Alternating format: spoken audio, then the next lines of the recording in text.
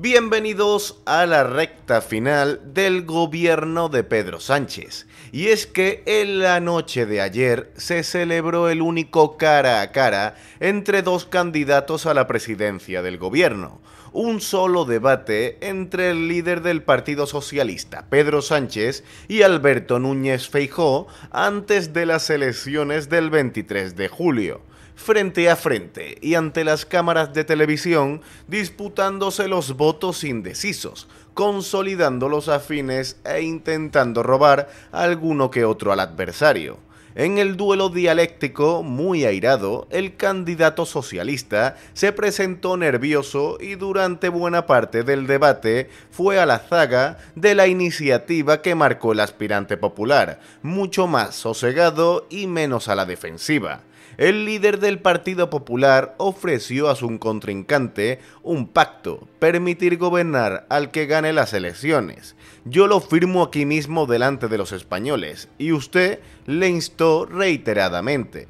Mientras tanto, Pedro Sánchez lo rechazó con evasivas, risas e interrupciones.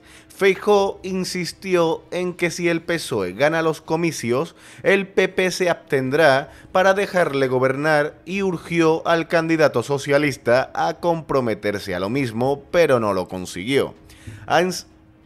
En Pedro Sánchez sorprendía sin lugar a dudas el temblor de sus manos, ya que se aprecia muy bien si observamos sus pulgares cuando ilustra las palabras con sus gestos, y además la aceleración de su discurso verbal descontrolando enseguida su tono y pausando sus intervenciones. Un error de comunicación importante, ya que proyecta inseguridad, nerviosismo e inestabilidad emocional, llegando incluso a desatender por completo a los moderadores. Además, utilizó reiteradamente la risa de forma descontextualizada, como mecanismo de defensa ante los reproches y las réplicas de su oponente, de este modo, su cerebro se protege de la ansiedad cuando ésta resulta abrumadora.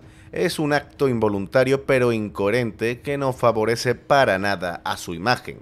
Feijó, por su parte, se mostró mucho más respetuoso y sosegado en las formas, hundiendo a Sánchez poco a poco sin ni siquiera tener que hacer mucho esfuerzo.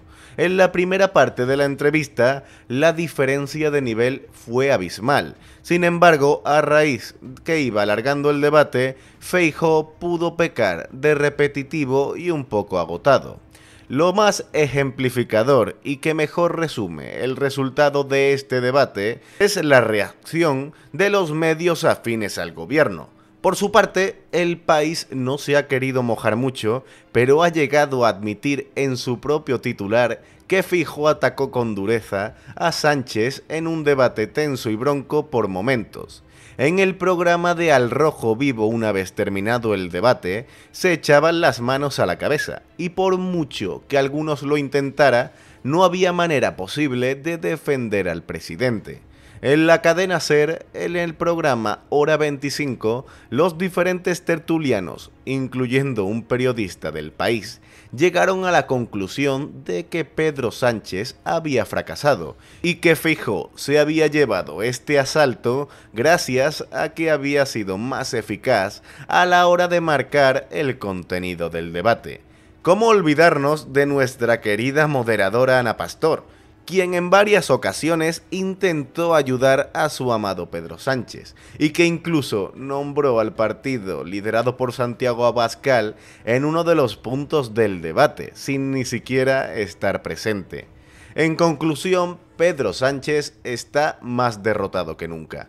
El debate con Yolanda Díaz y Abascal es una clara oportunidad para estos dos últimos, ya que Pedro Sánchez no tiene mucho que ganar sus votantes decepcionados, sus compañeros de partido frotándose las manos con su más que inminente salida, y la derecha española con unas ganas inmensas de comprobar que el PP le da una oportunidad al partido de Abascal y deja una vez la teoría de gobernar con el Partido Socialista.